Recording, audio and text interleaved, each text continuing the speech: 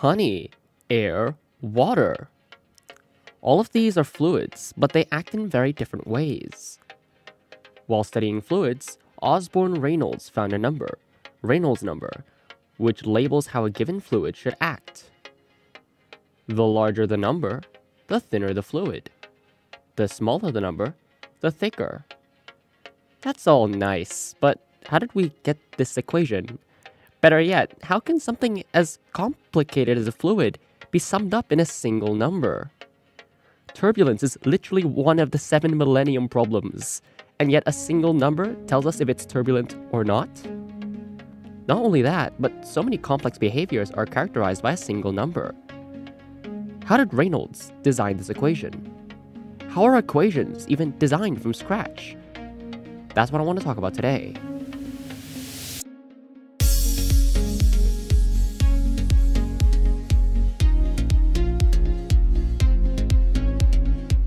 This entire journey begins with the understanding of units. When I say something is 8 meters tall, what I mean is if you got 8 meter sticks and stacked them on top of each other, it would equal the height of this object. All units are just a multiple of some base units that we all decided on. A meter isn't special, it's just what the standard is. And we can use half meter sticks, we can use yards, we can use feet, even. Anything goes, really.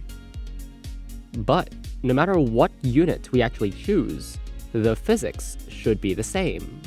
It would be weird if I changed the length of a meter stick and the universe collapses around us, you know?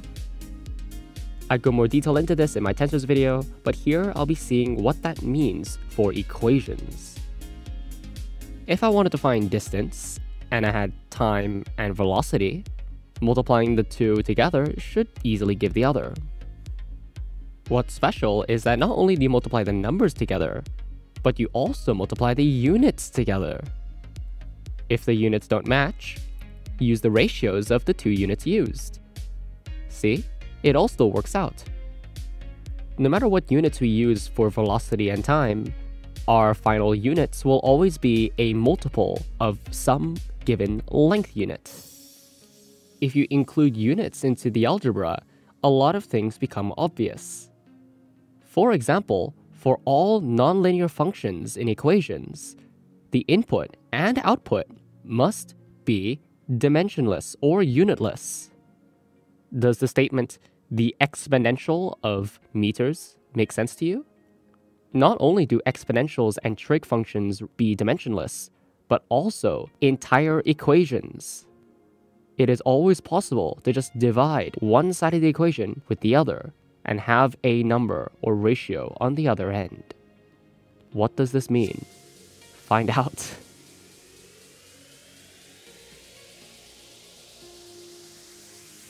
Almost all physical systems have some combination of properties which lead to a dimensionless ratio.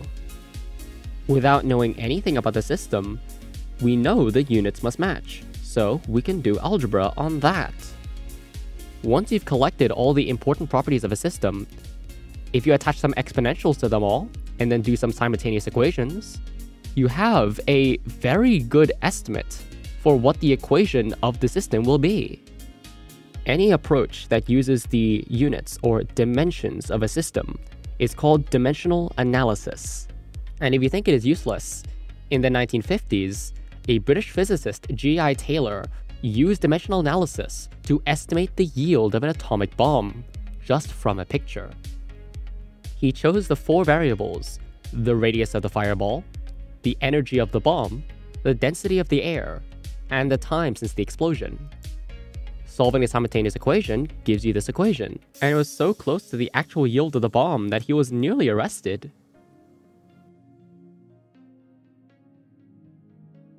With this knowledge, let us derive Reynolds number ourselves.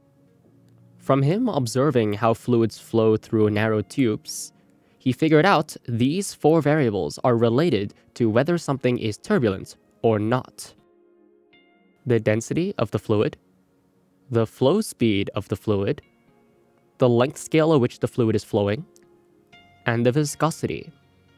Looking at the units and doing dimensional analysis, gives us this equation for Reynolds number. We can use this number to compare different systems. For example, even air, when flowing through a thin enough tube, can act a bit like honey. This motivates the idea of a characteristic scale. At some scale, all fluids look the same. I'll mention this without a rigorous proof. For all fluids, the boundary between a fluid and a wall will always be stationary. Also, a thin layer around that boundary flows thickly. It flows laminarly. Even without diving into the horrific equations that describe fluids, we have derived the concept of a boundary layer only by looking at the units of a fluid.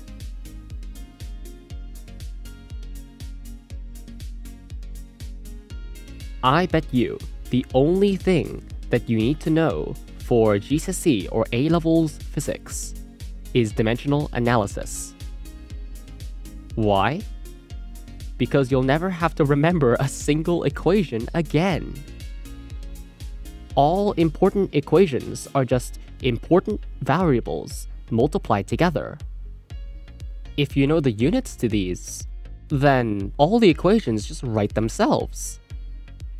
If I needed the gravitational potential energy, if the question tells me the acceleration, the mass, and the height, just from looking at the units, I multiply them all together. The same with potential energy, the same with kinetic energy, although you will have to remember the half in kinetic energy. Your entire formula booklet can be memorized by using dimensional analysis.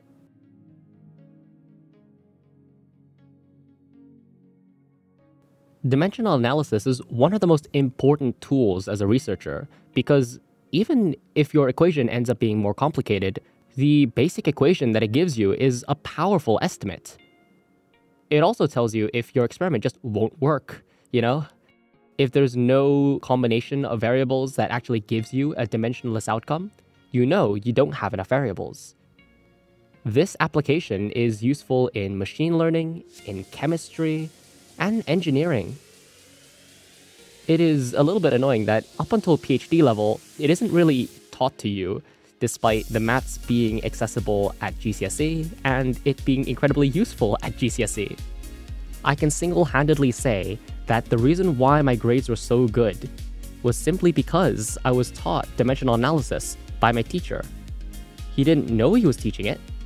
I'm sure he just mentioned it offhand, but I latched onto it and I did amazingly.